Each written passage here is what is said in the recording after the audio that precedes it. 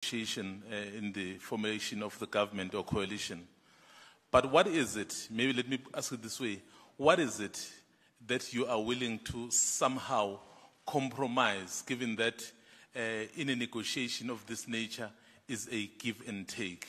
Um, out of that principles which you have laid out quite clearly, but I mean, you are aware that uh, South Africans have given you half half in terms of mandate. So, what is it that you, as EFF, are willing to somehow compromise? Thanks. Number two.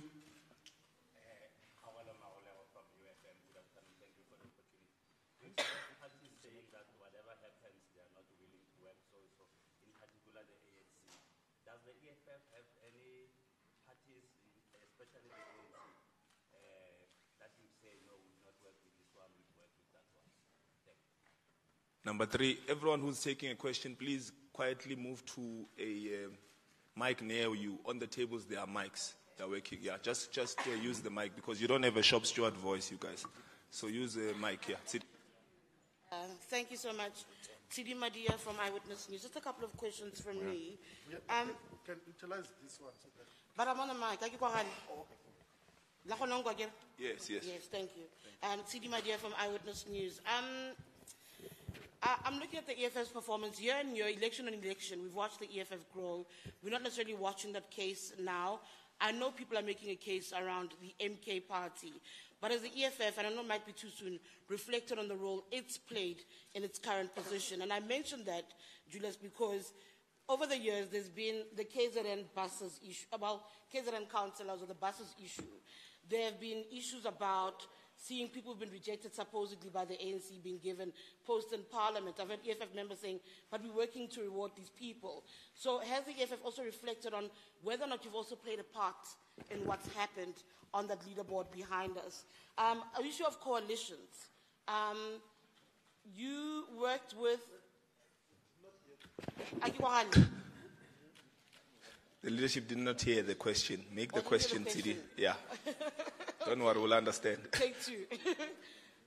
when the EFF looks at its current performance, have you played a part as the EFF in where you've come out in those numbers there?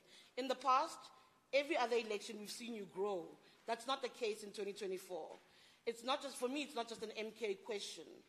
Does the EFF look at itself and say, maybe we also need to reflect on what we should have done better? Right? That's the first question. Secondly, on the issue of coalitions, in 2016, you were in a working relationship with the DA. You're currently in one with the ANC in Ekurhuleni. Part of what the ANC keeps saying is that it wasn't a working relationship. As they look at coalitions now, they say EFF is not desirable because it's difficult to manage the EFF. Is that a fair, an unfair assessment from where you stand as you go to the table? And just very quickly, uh, Vianney, last one. Ah, Um, Tshidi. my last one, I swear. You have a list of your cardinal pillars that are part of what you go into negotiations with. Some are saying, based on your current performance, you're not going there to the table with the upper hand, that you have no right to dictate the terms. You need to be more amenable to what is possible. That's it. Thank you. Okay, thank you very much. Comrades, let's uh, keep our questions pointed and uh, precise. Uh, number four. Good afternoon. My name is Tim Cele. I'm with Bloomberg News. Uh, the first question, just uh, around the configurations that you're thinking of in terms of coalitions. I wonder if you would consider a government of national unity in which all parties that have reached an agreed upon threshold would automatically participate. Would you be in favor of that? That's the one configuration. The second one would be whether or not the agreement that you would be in favor of would affect just the national picture or if there's scope for it to be a wholesale agreement which would then consider where you participate in local municipalities and at a provincial level as well. And then please, the last one, Vianney, if possible, uh, will you wait for parties to come to you for these coalition talks or are there parties that you've identified that you would like to make the approach to first? Uh, and which are those parties if that is the case? Thank you very much. Thank you very much. Uh, number five.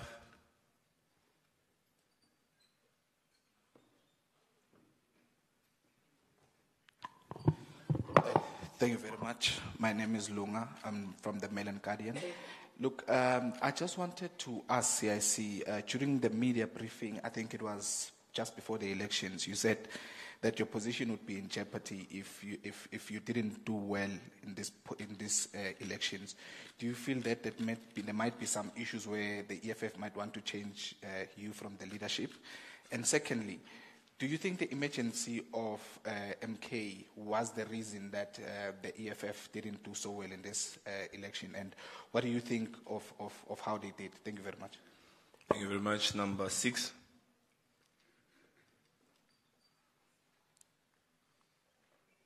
Let's move swiftly. Number six. Okay, we're skipping number seven. Hello, um, Alexis Akwagyiram. I'm the managing editor of Semafor Africa. Um, my question is Are there any preconditions with which you would deal with the ANC? And specifically, would you be prepared to work with the ANC only if um, Ramaphosa stepped down? I ask this because MK said they would not work with the ANC with Ramaphosa in place. Thank you. Number seven. Questions have been asked. Number eight. Thank you. Uh, good afternoon. My name is Mawande. I work for the Sunday World. Mr. Malema, you, you start off by saying you accept the results. What has changed? Because we saw a lot of complaints, especially from EFF quarters in the Western Cape, about the results, and just generally, uh, EFF members have been among those uh, claiming vote rigging, uh, vote manipulation, and all sorts of fraudulent uh, behavior that they allege against uh, the IEC. Was the leadership, uh, does the leadership feel differently, or did something change between the heightened complaining and now? And then maybe secondly, is the EFF among potential uh, partners willing to work with the DA, which declared the EFF coming into these elections as enemy number one? Thank you very much. Thank you very much. I think the first round is done. We'll give it to the uh, leadership, Commander in Chief. Thank you very much. We have just uh, outlined our cardinal pillars and issues that we'll be demanding to the ANC. And um, um, we can't say now that this we're prepared to let go or not. Uh, because, like you said, um, uh, negotiations of this nature need you to be ready to compromise on certain things. But there are certain fundamental things that you, you know that these are deal breakers. For instance, the issue of land um, is not something that you can compromise on. Um, yeah, but we'll go and engage, open-minded kind of an engagement, and then we'll take it from there. Uh, uh, we want to work with the ANC. If there's any party that we can work with and work properly, is the ANC. Because ANC, when compromised, is not arrogant. And ANC, when it doesn't have absolute majority, and it happens that you share power with them, they never recover from losing power. So if we're to go to election again in the next two years, the ANC sitting at 40% now, for sure they're going to come back with 15%. Because they, after losing elections, they don't do any, any effort, nothing, to change some attitude. So once they say the ANC has lost what, what, you must know they are going to lose forever. So don't worry. That's why we prefer them, because they will never grow. Um, we, we, we did a self reflection and um, we did very well uh, as the EFF. Uh, we did what a well established political party does, and um, including those buses, the, those people that were expelled for not bringing buses, we have no regret at all. Uh, they were- did not impact us anyway. Um, we, I just said in the statement now, when we're running elections, you'll find that there are people who are not playing a role in the elections, but uh, they are, they are on, on the list. So um, there is a, a principle, guideline that was issued during elections when we're constituting election teams and converting our structures into election teams that everybody must go perform where they are assigned. And then some decided not to do their work. And because they were disturbing the work of the elections, we said, just go home. Uh, we'll see you after these uh, elections. So we're going to see them to tell them to decline the, their seat in parliament. Because you can't sit at home and then go and dance at the rents in Cape Town rents when people are fighting to put up a, a rally and all of that. You have no role to play. You sit at home, straight from rent, you go to parliament. It will never happen that one. Never. It's not going to happen. Um, look, we, we, we are going to negotiate with the ANC the same way we did in 2016. Uh, we were much, we were, we were, we were stronger um, uh, uh, uh, in 2016. I mean, we were, we were in 2016. We were almost the same numbers. I'm not, if I'm not wrong. Those numbers changed in 2019 um, to, to be what they were um, um, uh, 1.888 something. So that was not the number that we went with to the negotiations with the ANC with. We went to the ANC with the number that we have now. The same number we have now. That's the number we took when we went to have the elections with the ANC. So this is what happened. Uh, so we were doing very well.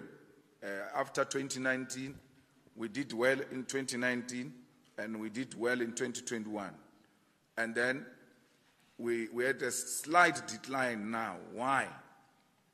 The people who were supporting President Zuma after 2019, I mean, when President Zuma was removed, they had no any other home because they didn't want Cyril. So they ended up coming to us. Uh, not coming in a form of taking membership.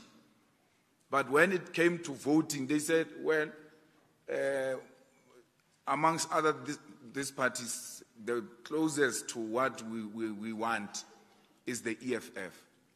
And then they went to vote for the EFF. That's why, if you look at the number of the EFF, which shocked us, and it is now being explained by this. In 2019, we're just sitting and then we get 350,000 votes. We're like, uh uh In KwaZulu Natal, eh? Which ones from where now?